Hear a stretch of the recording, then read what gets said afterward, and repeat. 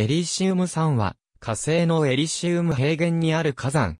火星の東半球、北緯25度西経213度に位置する。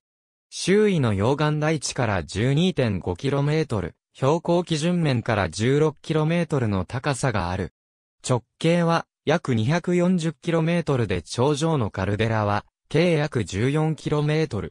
1972年にマリナー9号によって発見された。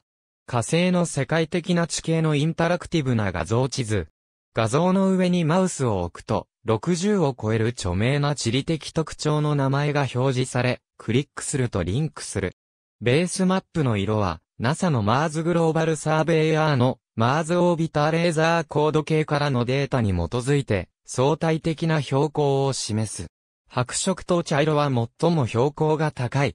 ピンクと赤が続く。黄色は 0km。緑と青は標高が低い。軸は緯度と経度。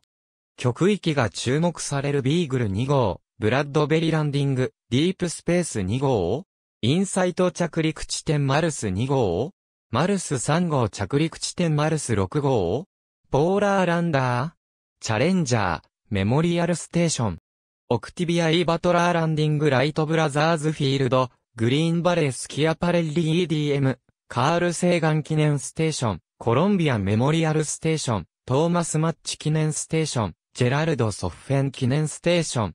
ありがとうございます。